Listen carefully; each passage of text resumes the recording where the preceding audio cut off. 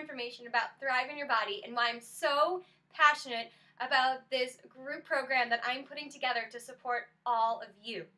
So, when I started out in health coaching over four years ago, I was super excited to learn all about the health benefits of kale, and I wanted everybody to start eating more kale.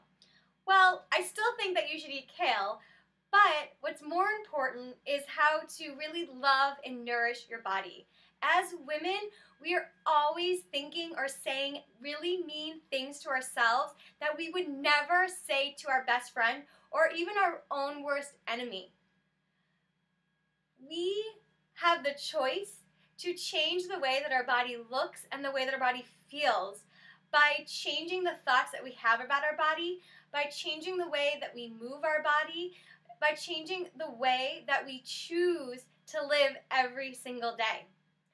I started Thrive in Your Body because I wanted to create a support program and group for women who wanted to really dig deep and really start loving and nourishing their body so much that they didn't need to worry about the number on the scale, the calories in their food, whether or not they were doing cardio every single day.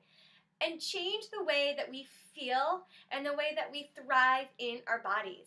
We put so much stress an emphasis on moving, hard work, exercising, eating a certain way, that we've forgotten that the most important thing is the way that we feel when we're moving our body. You know, I really want women to move their body because they love their body, not moving their body because they'll love their body once it becomes something after they work out.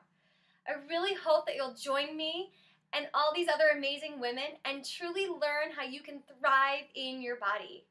For more information, you can visit me at katiebressack.com, and I look forward to talking with you soon. Bye!